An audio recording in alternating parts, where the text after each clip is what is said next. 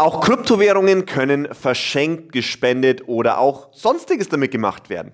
Heute schauen wir uns mal an, wie denn eigentlich die Geschenke oder Übertragung von Kryptowährungen wie Bitcoin, Ethereum und ähnlichem stattfindet und gleichzeitig auch an der Stelle aber auch Spenden zum Beispiel abgewickelt werden können, wenn du ein besonders großes Kryptovermögen hast. Das schauen wir uns heute mal an und damit herzlich willkommen zu einem neuen Video hier von Steuern mit Kopf auf YouTube.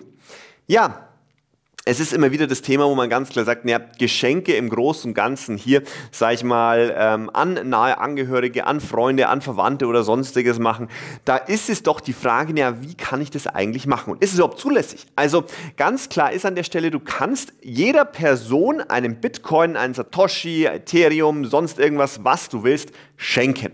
Hier gibt es keinerlei rechtliche Verbote oder sonstige Verbote seitens irgendeines EU-Rechts oder internationalen Rechts oder was weiß ich. Das gibt es nicht.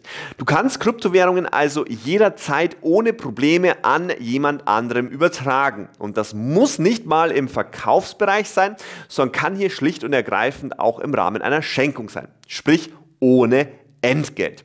Und da muss man ganz klar sagen, es gibt aber einige Dinge zu beachten. Schenkungssteuer ist erstmal hier das erste Thema. Also sprich, wir haben ein Geschenk und da gibt es bestimmte Freibeträge.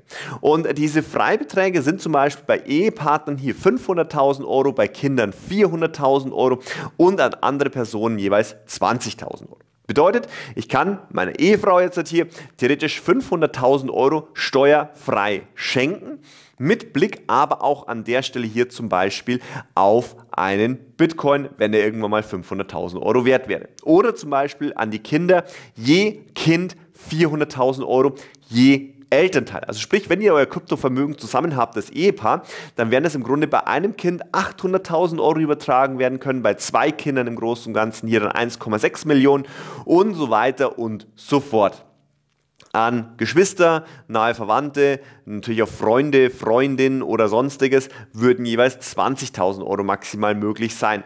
Wichtig ist an der Stelle, es ist nicht der Wert, für den du hier das Ganze auch gekauft hast, sondern es ist der Wert zum Zeitpunkt des jeweiligen Übertragungstages. Also sprich, wenn wir jetzt sagen würden, was ist ich, der Bitcoin wäre heute im, sagen wir mal, ähm, ja, was weiß ich, äh, Juni oder Juli, August oder sonstiges, wann die Übertragung stattgefunden hat, wäre es im Großen und Ganzen hier 50.000 Euro ein Bitcoin wert. Den würdest du übertragen, dann ist dieser Tageswert entscheidend.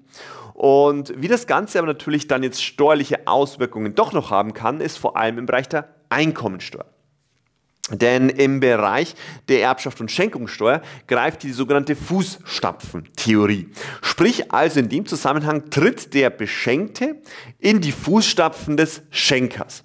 Und das hat an der Stelle zur Folge, dass auch zum Beispiel die Anschaffungskosten mit übernommen werden. Das heißt, wenn du den Bitcoin dann, was weiß ich, für 20.000 Euro gekauft hast, dann wären 20.000 Euro die Anschaffungskosten.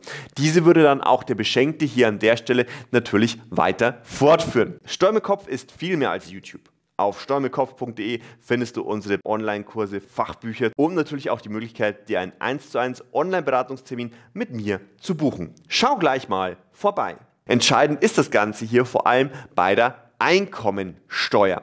Denn auch hier gibt es ja immer noch die Jahresfrist. Und diese bedeutet, innerhalb eines Jahres greift natürlich hier der persönliche Steuersatz des Beschenkten. Was bedeutet, wenn ich an der Stelle, sagen wir mal, ein Bitcoin jetzt Anfang 2024 zum Beispiel gekauft habe, den jetzt, sage ich mal, nach einem halben Jahr verkaufen würde, dann wäre die Jahresfrist noch nicht hier abgewickelt. Sprich, an der Stelle müsste ich zum Beispiel dann als Person hier meinen persönlichen Steuersatz darauf anwenden. Würde ich zum Beispiel meinen Ehepartner oder meine Kinder übertragen, dann müssten die jeweils ihren persönlichen Steuersatz darauf anwenden. Denn auch die Anschaffungszeitpunkte werden mit übernommen. Nach einem Jahr greift aber an der Stelle nicht mehr die persönliche Steuerpflicht, denn da gilt ja auch hier die Spekulationsfrist von einem Jahr. Sprich, an der Stelle muss man hier zwei Steuern beachten. Schenkungssteuerlich gibt es die Freibeträge. Ehepartner 500.000 Euro, Kinder 400.000 Euro, fremde Dritte 20.000 Euro. Wenn das steuerfrei war, Vorsicht aber bei der Einkommensteuer, denn bei der Einkommensteuer gilt hier weiterhin für den Beschenkten die Jahresfrist zu dem Zeitpunkt, wo der Vorschenker, also im Grunde der Schenker hier an der Stelle die Coins gekauft hat. Innerhalb eines Jahres steuerpflichtig, nach einem Jahr steuerfrei.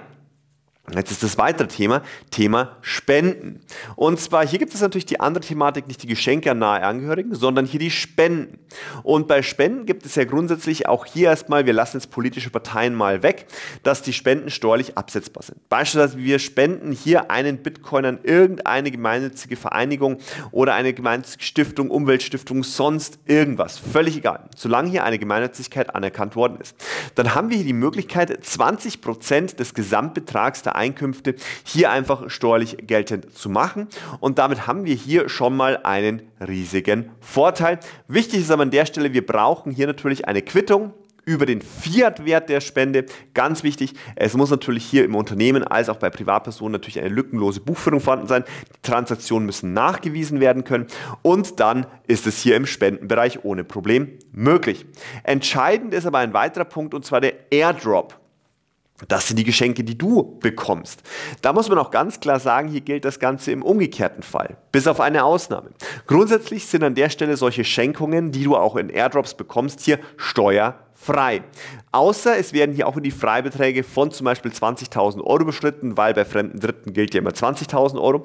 Was bedeutet an der Stelle ganz einfach, du musst hier diese 20.000 Euro, wie gesagt, einhalten bei Airdrops, ansonsten steuerpflichtig. Ausnahme ist aber bei den sogenannten aktiven Schenkungen. Sprich da, wo du im Großen und Ganzen aktiv geworden bist und irgendwo, sag ich mal, deine Telefonnummer, deine E-Mail-Adresse, deine Wallet-Adresse oder sonstiges hinterlegt hast. Da ist es so, dass es sich hierbei um sonstige Einkünfte, Leistungen handelt handelt. Diese sind im Normalfall dann vollsteuerpflichtig mit dem persönlichen Steuersatz. Dementsprechend musst du hier, wie gesagt, diese Fallstricke beachten, die es hier gibt. Denn, wie gesagt, das kann in der Einkommensteuer durchaus böse enden, wenn du plötzlich hier, sage ich mal, einen Airdrop von 30.000, 40.000 Euro bekommst und das Ganze natürlich auch versteuern musst. Denn das ist unabhängig davon, ob die Basiswährung schon die Spekulationsfrist von einem Jahr eingehalten hat.